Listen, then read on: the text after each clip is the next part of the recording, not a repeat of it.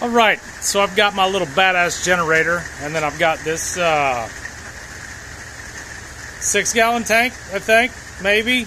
Yeah, six gallons. And then, so I want to make that deal help this deal stay gasolated.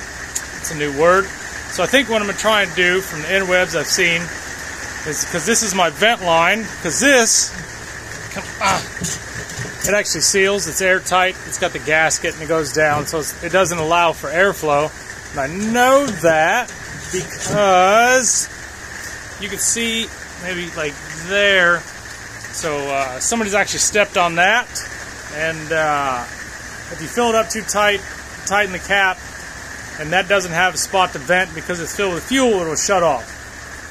Um, so I think what I'm going to do is try and hook that dealer up through the vent line how I plan on doing it is I bought this regular uh, like fuel line, fuel self-priming line for like boats and such that would hook up to it. And then I have this line right here, I believe is 3 16ths. And then that goes into the vent. So the vent line is 316 as well. And then that's, uh, I can't remember what bought the piece for it. So this will slide in there. And I believe this this end right here shall slide into the other end of the hose. I know it'll fit because I got excited and I put my adapter in there uh, just to ensure that it fits uh, before I put a clamp or anything on it. And then, so essentially what's going to happen is it's going to it's going to cause a vacuum. So if this is all the way sealed and then the vent is over here, that's going to need the vent. So it should pull the fuel from that deal to that.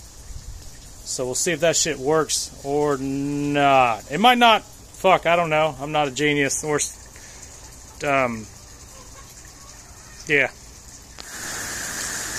Alright, so I've got this piece on. So then I should be able to take this hose, shove it in there.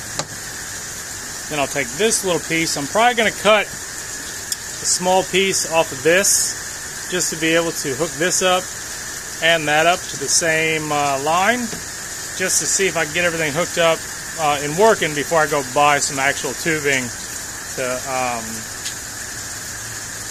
for the final touches, I guess you could say.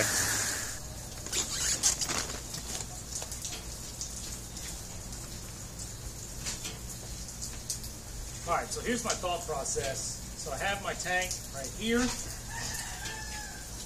six gallons. This one right here, it'll run my camper and everything when we do stuff almost eight hours. But I don't sleep well when we're doing that, so I always wake up like three or four hours into it. I go outside, refuel this thing in the middle of the night, smell like gas, got flashlight. I wake everybody up in the camper.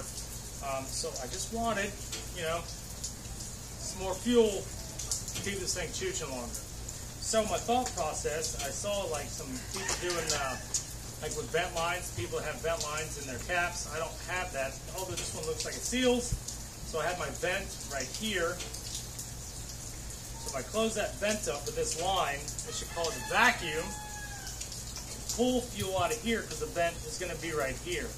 Um, I pulled the vent line off, so this thing's just venting. I ran it for a little bit. It didn't shut off at all because this thing is fancy, so the vent line runs to a fucking box. I don't know what it does. I didn't open it up. I don't care. So what I'm going to do now is I'm going to hook all this shit the line. Maybe, if I can get it. All right, I got it. A little hose clamp on there. I'll probably prime this bitch up. All right, this motherfucker is primed. I did that to kind of keep it away from all the the hot over here, maybe something like this. That's on there. And let it run. See if it's taking fuel out of here. So I have the vent open. This thing is all the way tight, it's sealed. Should be decent. All right, new day. I moved this shit out into away from the house. I'm gonna let this thing run for a bit. If you can see it, but the fuel is like right around here-ish. So I'm gonna turn this thing on, let it run. Hopefully it'll run. If I come back and the fuel's out of there, my idea has worked. If not, I'll figure something else out. All right, So we live in Florida, so it's getting ready to rain again. So this thing's only been running a few hours, but the mark is here, and the fuel is down below it. So I haven't been able to run it for forever because the, the rain is coming. But it seems to be working. So I might try and run it tonight under uh, a canopy of sorts to see that if it actually takes fuel. But it seems to be working. I mean, it hasn't stalled out at all. And um, that thing seems to be pressurized, so go team.